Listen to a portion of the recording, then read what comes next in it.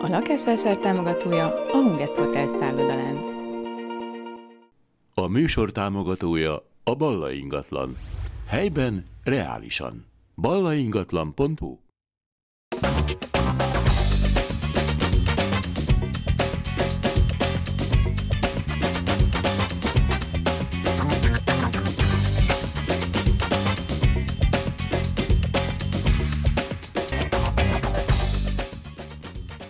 Ez a lakásvásár hatós csatornán köszöntöm Önöket.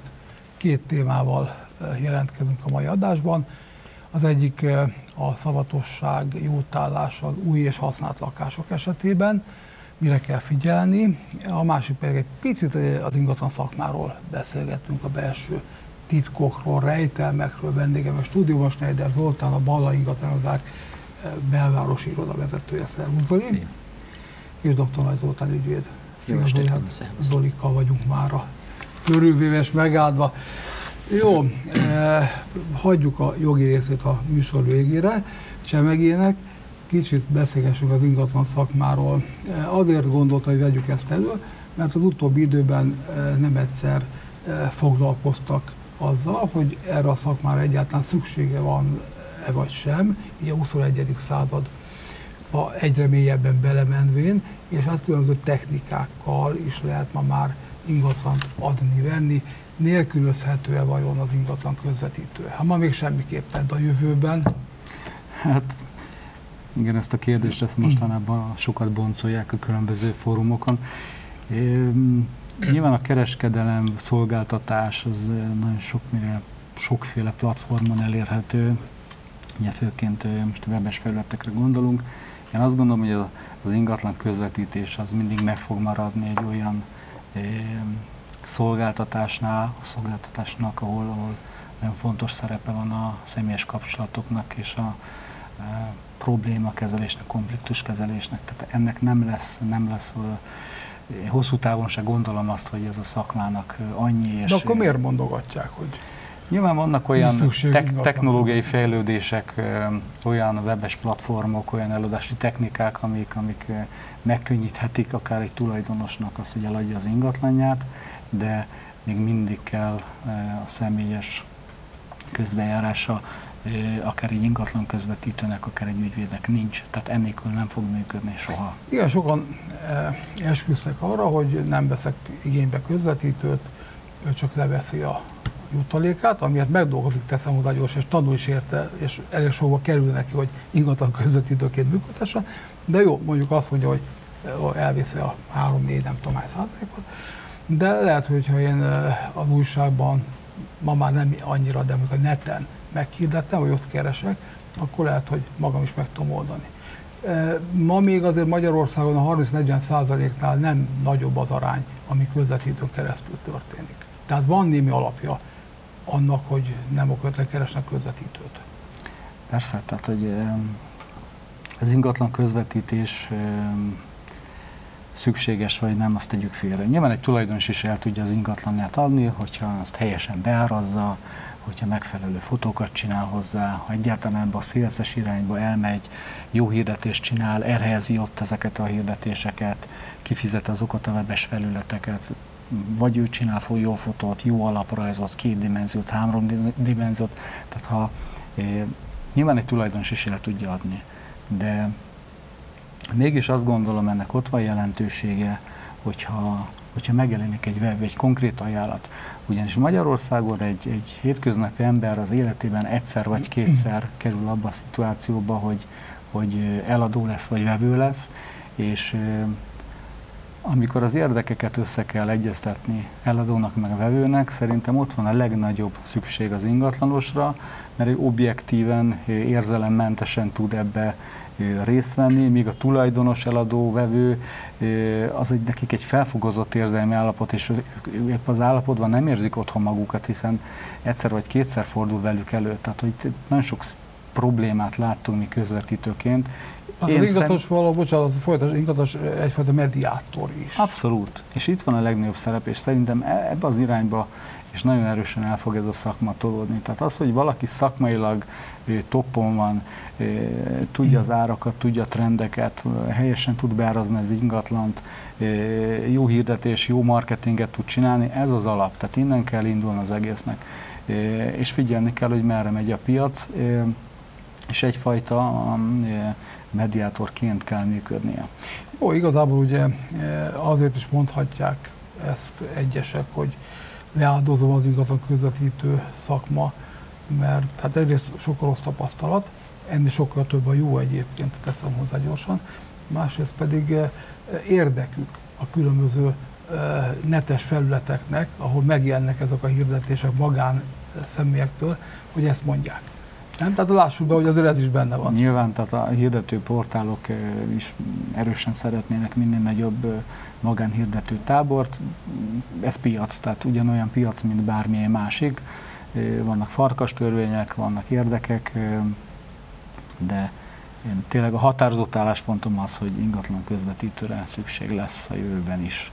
Az, hogy arányaiban mi és hogy veszi át, hogy veszi át a technológia némely ingatlanos feladatot, az majd jövő kérdése. Igen, mert azért tegyük hozzá, ez egy szakma. Ez nagyon összetett és differenciált szakma az ingatlan közvetítés. Ugye legalább 5-6 szakmát kell tudni és megtanulni. Pénzügyesnek kell lenni, jogásznak kell lenni, közgazdásznak kell lenni, pszichológusnak kell lenni, mediátornak kell lenni. Szóval számtalan olyan szakmát kell megtanulni, nyilván nem olyan mélységben, mint mondjuk egy, egy ügyvéd a maga területét, de hát itt azért, ha elmész egy lakást közvetíteni, akkor neked tisztában kell lenni az alapjogi eh, környezettel, a gazdasági feltételekkel.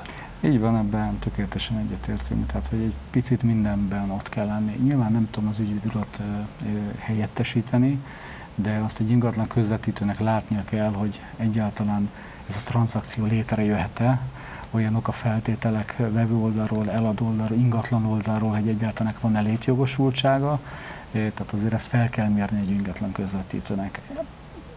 Hogyha vannak nyilván rázósabb ügyek, ezek, ezek már ügyvéd kategória, el kell mondani, mindenkinek van jogi kapcsolata, minden irodának, minden közvetítőnek, onnantól kezdve át kell adni az ügyet. Tehát Igen. ugyanaz volt közö pénzidő, és hogy nagyjából az ember tudja, hogy kap hitelt, nem kap hitelt, de nem a mi asztalunk, ha nagyon nem megy, tehát vannak nyilván kizáró tények, nincs munkája, tehát az ember azért meg tudja szűrni alapszinten azt, hogy vevő lehet-e vagy sem, kap-e hitelt vagy sem. És a műszaki feltételeket még nem is említette az imént, tehát valahol mérnöknek is kell lenni.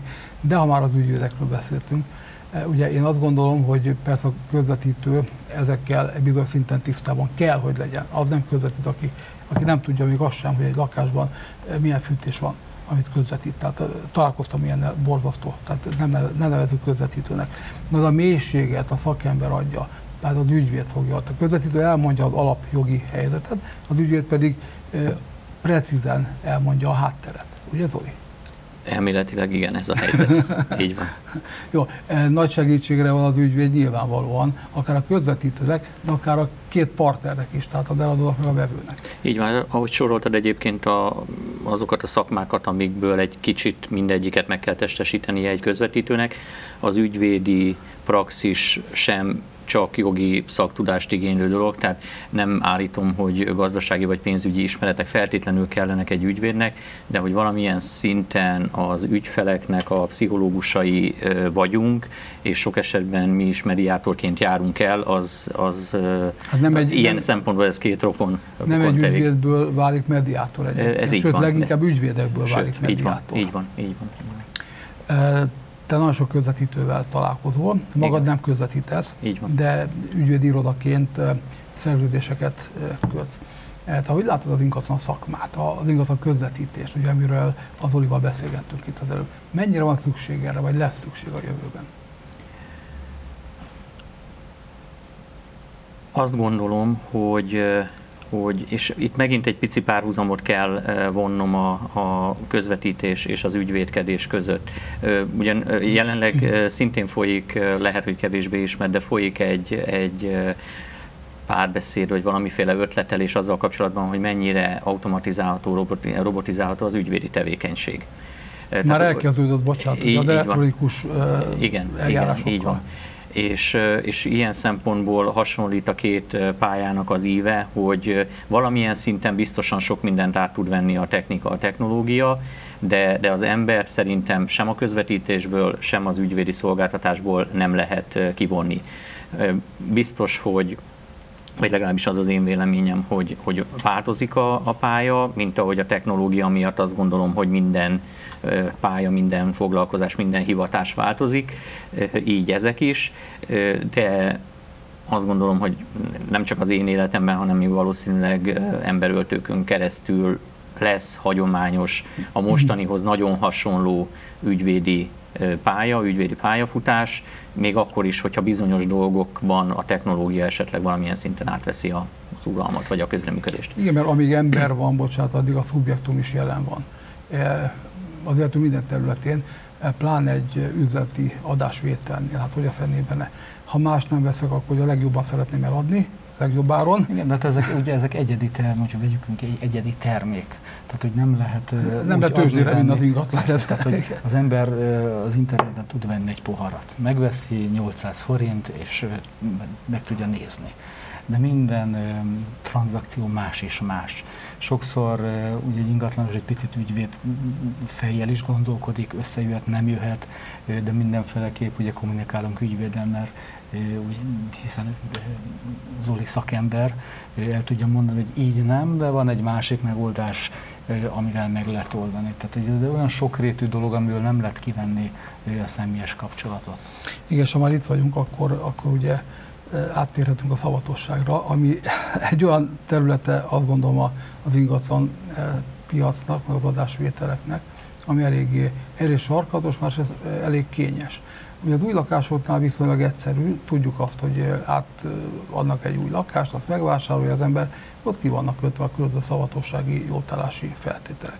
A használt lakásnál sokkal izgalmasabb azt gondolom, de azért ne menjünk el az új lakásoktól sem. Itt mikre kell figyelni, mik az alapvetések? Alapvetően a szavat, mind a szavatosság, mind a jótállás a, a szerződéses teljesítések körében, ezen belül is a hibás teljesítésnek a körében került szabályozásra a PTK-ban, és tulajdonképpen abból indul ki az egész, hogy az átruházott vagyontárgynak, esetünkben ugye ingatlanokról beszélünk, a szerződés a tulajdonjog átruházása teljesítés időpontjában meg kell felelnie bizonyos minőségi követelményeknek. Ezeket a minőségi követelményeket vagy a felek maguk határozták meg, vagy jogszabály írja elő, de tény, elő, illetve ebből indul ki az egész, hogy ezeknek kell megfelelni. És akkor itt válik ketté a dolog egy picit, jótállás és szavatosság kapcsán az új lakásokra vonatkozóan jogszabály meghatározza, hogy milyen kritériumoknak, milyen minőségi feltételeknek kell megfelelni,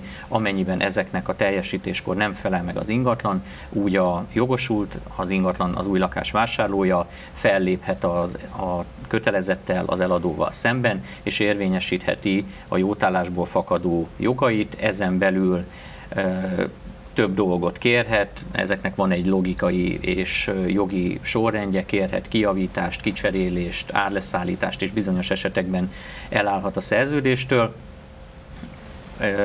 Ez mennyi ideig tarthat egyébként ez a periódus?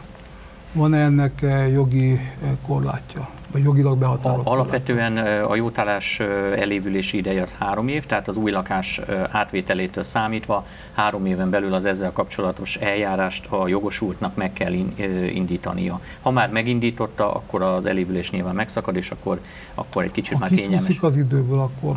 Akkor így járt, aminek oka lehet persze a jogosulti figyelmetlenség vagy, vagy valami hasonló, de lehet, hogy az volt az oka, hogy egyébként a szerződés kötéskor, a, a, vagy a teljesítéskor az ingatlan megfelelt azoknak az elvárásoknak, amiknek meg kellett felelnie. Hiszen általában kiszokták kötni a szerződéseknél, ugye, hogy a megtekintett állapotban vásárolják meg. Így van, ami azt ami... jelenti, hogy egyfajta garancia az eladónak, Figyeltük ez akkor rajta nagyon nehéz számon kérni bármit is, bár a jótállás ugye egy külön történet. Így van, a jótállás az elsősorban az új lakások ö, ö, körében ö, merül fel. A, a megtekint, ráadásul ugye az új lakásokat jellemzően nem megtekintett állapotban vásárolja meg a vevő, hiszen a szerződéskötés az, az, az esetek többségében meg, így van. Igen a teljesítés, tehát az átadás az, az viszont már valóban később.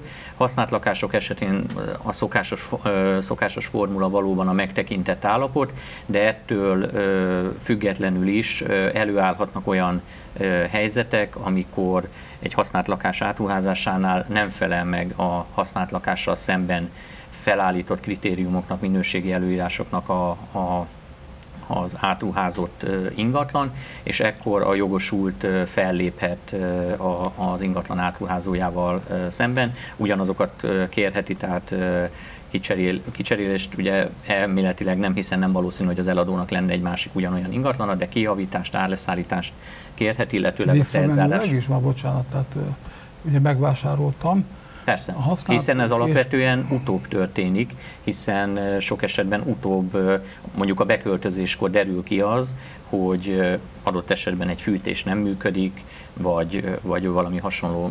Igen, mert megvette az ember nyáron mondjuk, és, van, és mire nem, tél lesz, addigra... És még az is lehet, hogy kipróbálták a fűtést, amennyire nyáron ki lehet egy ilyet próbálni, és lehet, hogy belobbant, aminek be kellett lobbannia, melegedett, aminek melegednie kellett, de lehet, hogy mindez három percig volt csak, és mhm. egyébként majd télen derült ki, hogy egyébként ez nem alkalmas. Na ilyen esetben mi történik egyébként? Kinek a felelőssége? Számon kérheti-e, és kérhetek kártérítést? Minden, mindenki. Már jön a praxisodban, hogy használt lakás után ilyen kártérítés? El, előfordul, előfordul. Jellemzően ezek egyébként bíróság elé is jutnak, mert mert viszonylag nehéz, ugye két platformon lehet eldönteni egy jogvitát peren kívül, ezek nem azok szoktak lenni általában, amikben olyan nagyon nagy egyetértés lenne az eladó és vevő között, még akkor is, hogyha egyik vagy másik készít, készített szakvélemény. Mert azt mondja a vevő, hogy hát bocsánatot kérek, de bekapcsoltuk a fűtést, akkor működött, ettől kezdve nem az a felelőssége. Így van. Mi van, jog, mi van a szerződésben? Hát például egy közelmúltbeli eset, vagy nem annyira közelmúltbeli, de, de az irodánk által vitt eset, amikor egy lakóházat vásárolt meg a, a, a bevő, és a lakóház nem ért el azt a mértéket azt a nagyságot, ami, tehát nem fűtés tehát, vagy hasonló igen, probléma, tehát 50 négyzetméter helyett kisebb kiderült, hogy 46. Ha, így van, ennél még talán egy picivel jelentősebb is volt az eltérés, nem annyira, hogy, hogy a, a bárki láthatta volna, de, de az eladó állítása szerint az 70 négyzetméter volt, a, a vevő pedig belenyugodott ebbe a 70 négyzetméter. De van egy tulajdoni lap. Igen, de ez egy lakóház van. volt, amin nem volt rajta mert hogy azon Aha, csak a telek mérete van megjelölve. Le, nem mérték le, így elfogadta van, a vevő, van, hogy ez van. annyi. És akkor a vevő képviseletében pert indítottunk, és árleszállítást szerettünk volna elérni. És megnyertétek? És meg is nyertük, Gratulálok, igen. mert ez, ez elég érdekes, megmondom őszintén. Én a másik, az eladó helyében azt mondtam, hogy kérem szépen, hát megmértük.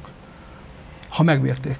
De, Együtt mértük meg? De, de nem, mér, nem mérték de nem meg, és, meg. és mondom, az eltérés nem volt akkor, hogy ez szabad. De nem az ő felelőssége, nem a vevő felelőssége? Neki akkor meg kellett, itt most, oké, a... megnyerted, rendben van, ügyes voltál. Na de ha én a másik fél vagyok, akkor én nagyon harcolok azért, Igen, hogy de hát a másik fél, nézni. A másik fél központi eleme, vagy a védekezésének a központi eleme az volt, amire te is utaltál itt, hogy, hogy azt próbálta igazolni, hogy én nem tettem meg azt, illetve az ügyfelünk azt, amit egyébként vevőként egy ingatlan vásárlótól elvár a jog, mert hogy egyébként egy vevőnek is vannak bizonyos dolgok, amik, amiknek meg kell felelni, amiknek utána kell nézni, amiről gondoskodnia kell, és, és ezen ment a per egy adott szakasza, hogy, hogy mennyiben tett meg mindent a vevő, amit tőle elvárható, vagy mennyiben nem, és, és Mivel utóbb, nyerted meg? Most áruld el, hát ha nem alapvet, el. Alapvetően azzal, hogy azt sikerült igazolnunk, hogy a vevő minden tőle elvárható dolgot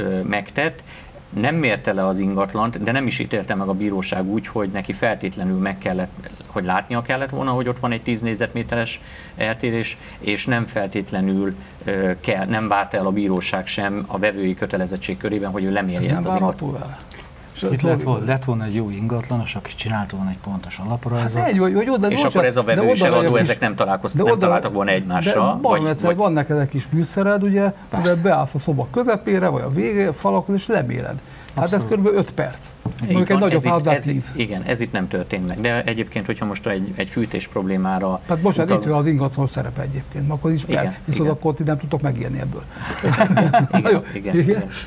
Így van. Hogy legyünk profánok egy picit. Igen, ami, ami ugye nagyon tipikus szokott lenni, hogy egy tisztasági festést követően adja el az eladó az ingatlant, és az a tisztasági festés az sok mindent el tud fedni.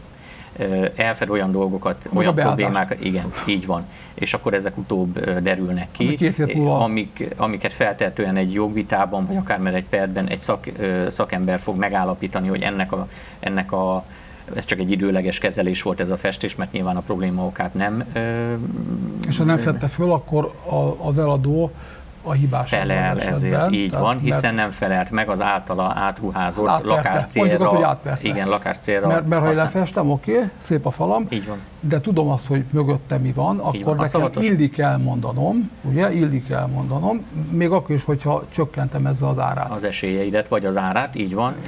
Ez itt egy ilyen esetben nem történik És meg. megint te ez, nyertél. így, ez most nem egy konkrét jogeset Jó, de- de, de egy ilyen esetben azt gondolom, hogy, hogy jó esélyekkel lehetne indulni. A sza- A szavatosság valóban erre, erre szolgál, hogy Tehát mennyi idő, milyen időtartamra vonatkozhat a szavatosság? A szavatosság, a szavatosság elévülési ideje, és ez tulajdonképpen egy fontos dolog, mert az általános 5 éves elévüléshez képest ez egy rövidebb időszak, ez egy egyéves időszak. Nem is lehet hosszabb, azt gondolom. Tehát Az ez nagyjából persze. korrekt, mert egy alatt ki kell, hogy derüljön, ami pedig nem derül ki, az, Igen, az felöleli az súlyosabb- összes évszakot, a súlyosabb hiba. felöleli, igen, hogy igen. mi, van, mi történik az ingatlannal nyáron, extrém meleg vagy Világos. eső, ősszel, télen, és, és akkor a szavatosságnak azt gondolom, hogy nem is kell több, hogy kiderüljön kötelezeti a te praxisodban előfordulnak ilyen utólagos viták, amikor, amikor a közvetítőt vonják fel, és vagy kérdezik meg, hogy ez akkor miért is van?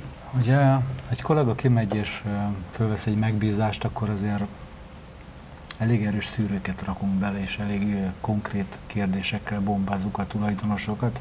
Akár Érdemes. rejtett hibák Abszolút, is abszolút. rámentek. Ö, Nálunk az már, ha egy valami hófehér és semmi más nincs megcsinálva a lakásból, Gyanús. hogy ez már gyanús, erre rákérdezünk. Hogyha azt mondja a tulajdonos, hogy hát igen, ottan mellig ért az ázás, de most így gyorsan bepamacsoltam, akkor mindig jelezzük, hogy rendben van, de ezt el fogjuk mondani a jelentkezőt. Tehát, hogy ez egy nagyon fontos momentum.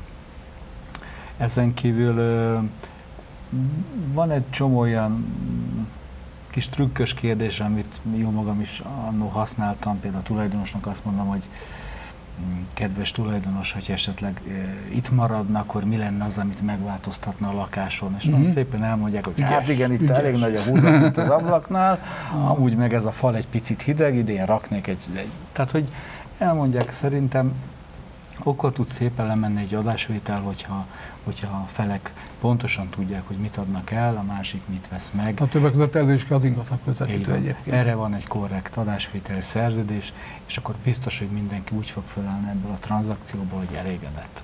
És szerintem itt van a létjogosultsága eh, az összes olyan szakmának, eh, hitelközvetítő, akár egy biztosítás közvetítő, ingatlanos ügyet mindenkinek nem lehet ebből kivenni a személyes kontaktust.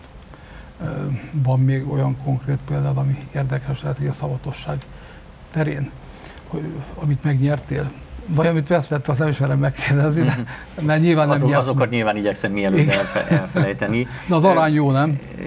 Azt gondolom, hogy igen, tehát ilyen szempontból nem panaszkodunk, de, de mm, tulajdonképpen ami még egy fontos dolog, és, és nem a fizikai, a minőségi megfelelésre vonatkozik, az a, az a jogszavatosság. Ugye amiről beszélünk, az a kellékszavatosság köre volt.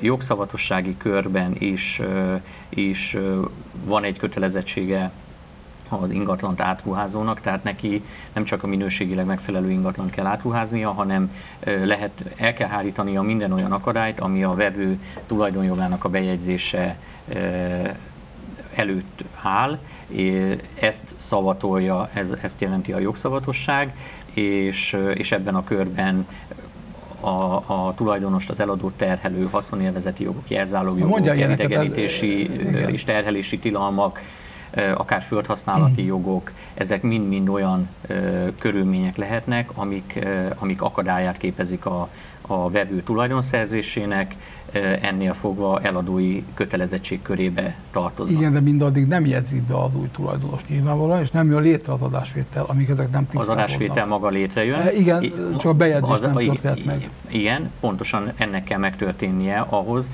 hogy utóbb a vevő tulajdonjoga bejegyezhető legyen, de ehhez az eladónak ezeket a jogokat, ezek, tehát a, a jogszavatosság keretében ezeket az egyéb terheket, jogokat töröltetni kell az ingatlan nyilvántartásban.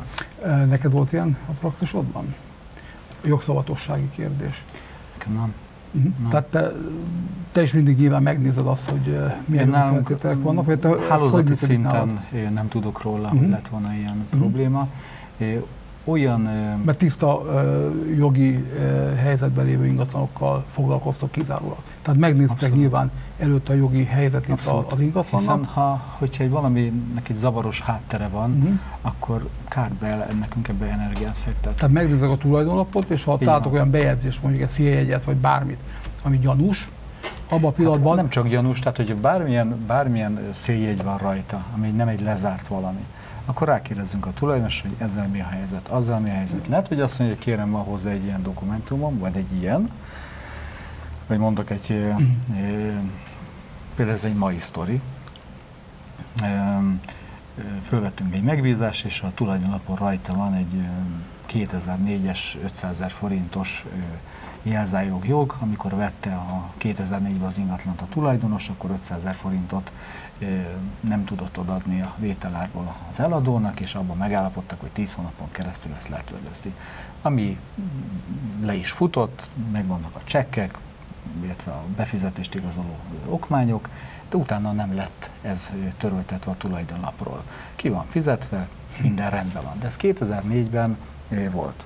Most eladná a tulajdonos, és ott van a tulajdonlapon, ez az 500 ezer forintos uh-huh. elég, rajta van még elidegenítési terhelési tilalom, mindent ráraktak 2004-ben. Most a vadászunk, vadászunk a 2004-ben, 2004 eladott. Ugye ez most egy folyamat, ezt, ezt valahogy onnan el kell tüntetni. Urak, nagyon szépen köszönöm, hogy itt voltatok. Köszönjük Külön köszönöm, köszönöm a konkrétumokat. Találkozunk önökkel egy hét múlva a lakásvásárban, a viszontlátásra.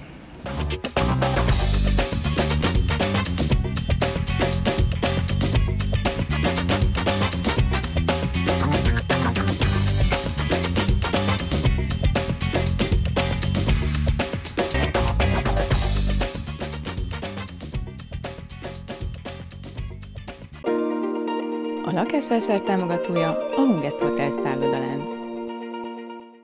A műsor támogatója a Balla ingatlan. Helyben reálisan. ballaingatlan.hu